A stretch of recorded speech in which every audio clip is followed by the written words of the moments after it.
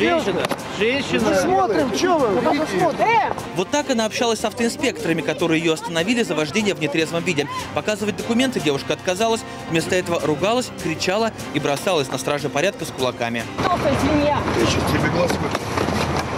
Дебаширку доставили в участок, но эта мера ее не успокоила. Давай сюда паспорт быстро. Женщина, вас снимают. Вы успокойтесь. Давай. Суд приговорил даму к полутора годам лишения свободы условно.